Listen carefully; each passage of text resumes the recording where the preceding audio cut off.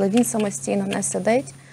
Е, Тобто, якщо його посадити, він може посидіти кілька секунд, але він втрачає рівновагу і падає. Тобто він не має сили. На ножки він взагалі в нас не опирається. Тобто вони в нього такі в колінках згинаються, він не може нічого з ними зробити. Він їх піднімає, він ними рухає, тобто такого би здалося звичайна дитинка на вигляд. Але Але менш ніж за два місяці Максимку повинні ввести дозу ліків, які мають подолати страшну генетичну хворобу спінально м'язову атрофію. Проте повної суми грошей на лікування хлопчика батьки досі не мають. Адже один укол, який обов'язково потрібно ввести дитині до двох років, коштує майже 2 мільйони доларів. Чому дорогий такий укол? Тому що для однієї ін'єкції, для того, щоб виготовити одну ін'єкцію, яка вартує таку мега величезну кількість грошей, треба 10 років. 10 років часу, життя, ресурсу, людського і всього іншого потрібно, щоб зробити одну єдину ін'єкцію, яка спасе одне єдине життя.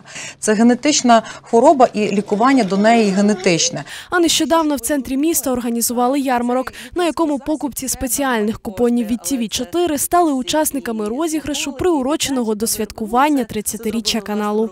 Ми даємо запрошення, розіграємо їх і покличемо тих людей, хто виграє е, на саме дійство, на святкування, щоб, е, ну, щоб також люди зрозуміли, що творити добро разом це просто, і попросили тих партнерів, які будуть присутні на святі, які долучаються, щоб е, нормальні відсотки від тої суми до, е, також покласти і вручити на святкуванні сертифікат для Максимка. На сьогодні сім'я Антонишиних зібрала майже чверть від загальної суми. Часу залишається обмаль, тому батьки Максима просять небайдужих людей допомогти їм врятувати життя сина.